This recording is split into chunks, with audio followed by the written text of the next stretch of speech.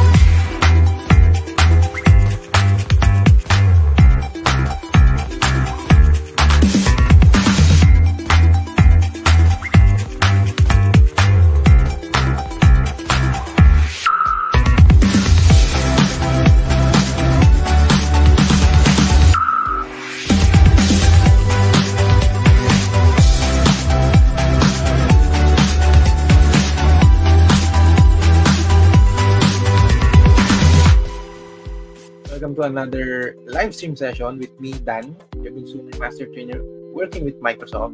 And for today's live stream, I'm super excited kasi may bago tayong product na i-announce. No? So siguro narinig or nakita nyo na no, yung doon sa ating banner kung ano yung office or kung ano yung nababanggit ko na kung ano yung kung ano yung product niya announce natin. Well, tama kayo. Ang, ang i-announce natin is about the new Office 2024 version. Right? Anyway, Office 2024 is a perpetual version of Office. Okay? So, and so you will get uh, the new Office 2024 in terms of um, productivity, no?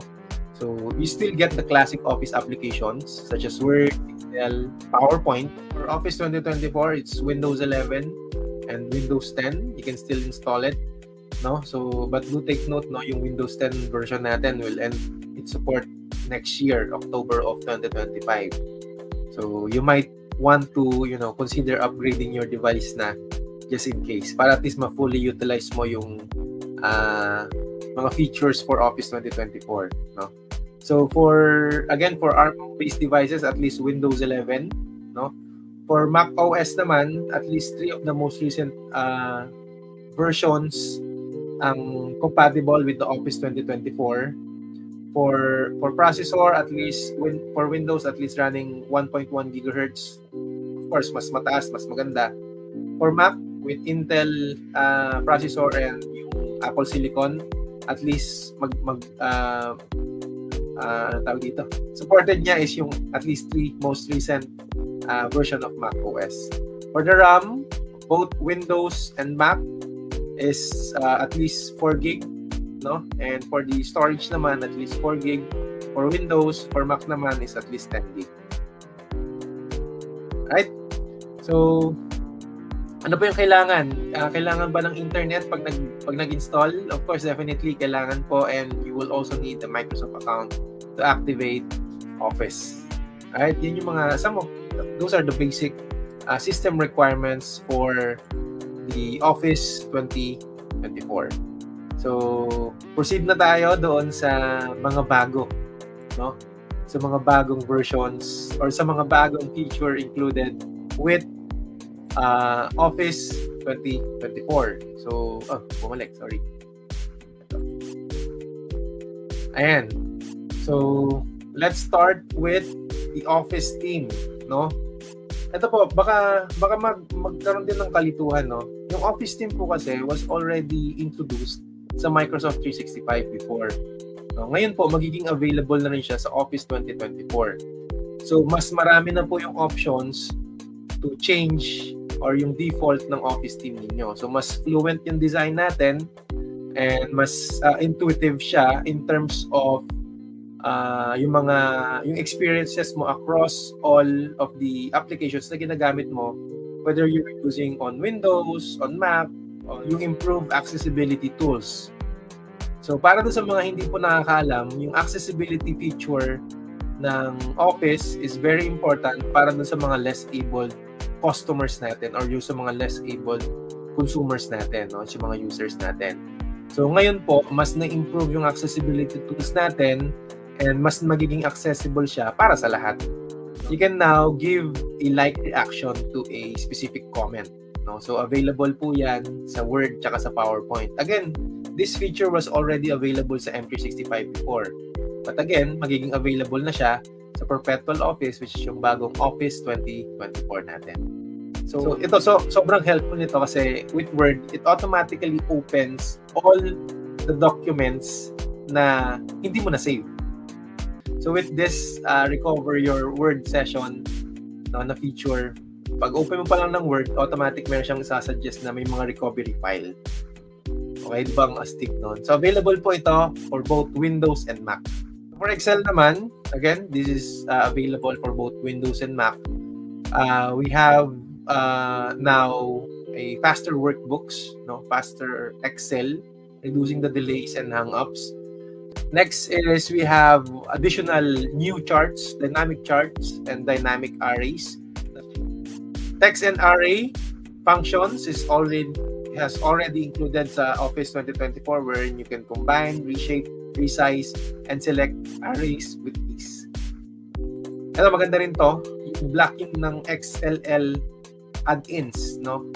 So with this uh, feature update with Excel 2020, uh, Office 2024, uh, yung mga additional plugins na included doon sa file na dina-download mo is automatic binablock niya. PowerPoint. Ito maganda to. Ayan. As you can see sa video, pwede mong incorporate yung sarili mo doon sa mismong presentation. Ang galing, di ba? So, kahit wala kang green screen, so habang nag-present ka, pwede nasa loob ka na ng presentation. Kung gusto mo mag-insert, tapos mag-create ng video presentation, pwede mo nang i-record yung sarili mo using PowerPoint. Dito po, you can include or capture your voice, yung inking gesture, yung pag nag inking ka dun sa slide, pwede niya rin i-record yon and even yung video mo mismo, yung video presence mo mismo. So perfect to para doon sa mga teachers, ayan, sa mga kagaya natin na nagte-training, no? Pwede mo incorporate yung sarili mo sa PowerPoint while doing the annotation and of course, hindi pa siya hassle because PowerPoint lang yun operate mo. You can now add captions. So meron kang options to add closed captions or yung subtitle doon sa mismong video mo. So kung meron ka ng readily available na closed caption, all you need to do is incorporate it or insert siya doon sa presentation or do sa video na ni-record mo using PowerPoint presentation. For Outlook naman, ayan, improve search for email, calendars, and even contacts. Kung meron man akong kailangan na file, na naalala ko bigla kung sino yung nag-send, isa-search ko lang. So, mas in-depth ngayon yung searching natin using Outlook. Meron ka na ring option to send an accessible email.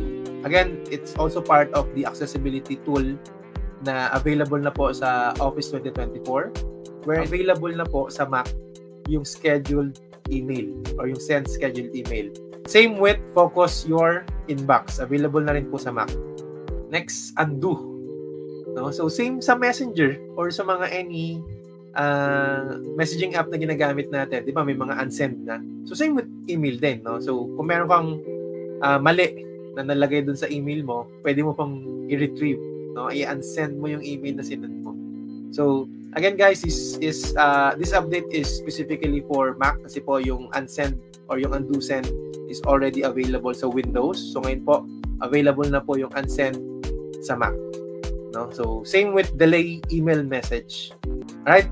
So ito po yung side-by-side comparison ng 2024 versus 2021 para sa kalaman ng lahat. No? Mas faster, mas intuitive yung Office 2024 versus uh, sa, sa Office uh, 2021. As you can see, uh, for 2024 reduced slowness and freezing time now with multiple apps are open so compared sa 2021 version uh, we also have improved search in outlook no and swipe gestures in outlook for mac so may may swiping uh, gestures na tayo niyan. Uh, in terms of uh, creating a content no? Uh, again you can now send more accessible emails compared to the previous compared to the previous uh, version. We also have updated accessibility ribbons specifically for Outlook and Excel. Uh, PowerPoint Cameo, scheduled email in Outlook, closed caption in PowerPoint, focus inbox in Outlook, undo send in, uh, in Outlook specifically for Mac. Uh, we also have Recording Studio, wherein you, you can record your, your yourself using PowerPoint. Delay, me, uh, delay email messages in Outlook for Mac, and reactions in Word and PowerPoint. And ulitin ko lang po, ang office home student ngayon is office home na lang. And ang home and business is still home and business 2024. So again, Office 2024 is your familiar and basic productivity app for personal use or business use. No? So if you're looking for a basic office app like Word, Excel, PowerPoint na gagamitin mo, you can choose Office Home.